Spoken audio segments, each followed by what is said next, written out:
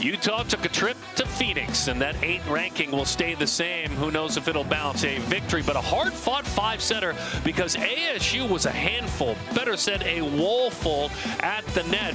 They had 15 blocks, 15 to the Utes six, and that's really what made the difference in this match. For a team, ASU hitting just 079, there were answers over and over. You saw Kennedy Boyd, she had seven blocks. You see Megan Beatty, she had seven blocks. Uh, Levinska had seven blocks as well. Those were the answers, and that's what kept it close. Also, a celebration of Iman Isanovic and how she was able to play.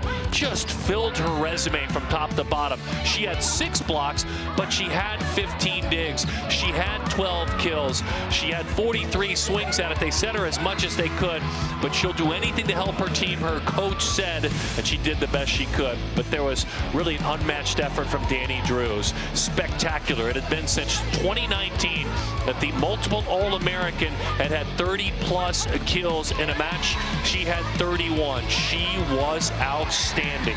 Defensively had 15 digs as well. One of the finest players in the land played like it. And you know what?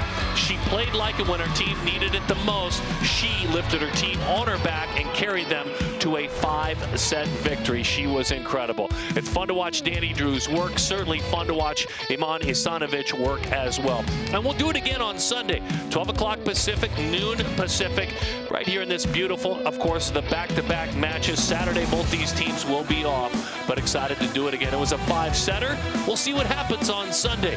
A perfect start to the season for the Utes. They're 5-0. I'm Darren. See you soon.